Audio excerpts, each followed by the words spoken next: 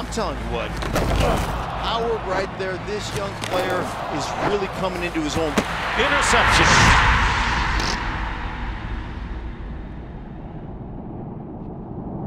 And it's intercepted by Xavien Howard. And that is one of the great interceptions you will see.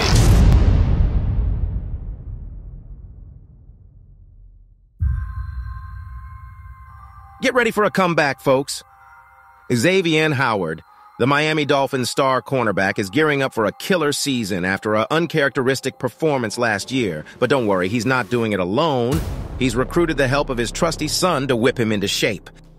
Now, if you haven't already, make sure to subscribe and give the video a like. Also, turn on the notification bell so you can stay up to date on all things Dolphins. Now, back to the video. In a heartwarming workout video, Howard can be seen pulling a sled with his little one on top, zooming around like a dynamic duo.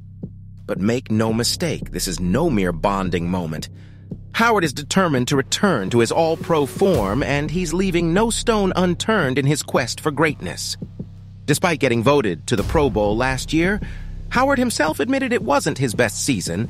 He played through injury, and it showed in his stats. He gave up more completions than usual and had his worst opponent passer rating since 2019.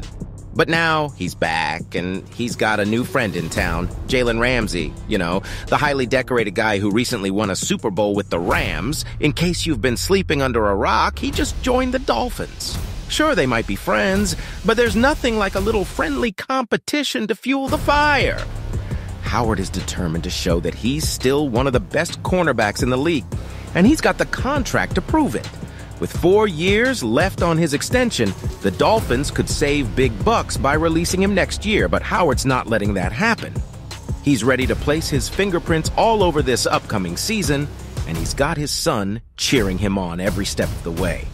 So get ready to see Howard back in action, folks. He's training hard, he's got a new teammate to challenge him, and he's got his son by his side. It's going to be one epic season, and we can't wait to see what he'll do next. But what do you think? Will Xavien bounce back after last year's performance? And will Jalen and Ramsey and X rank as the top cornerback duo by the end of next season? Let me know what you think in the comments.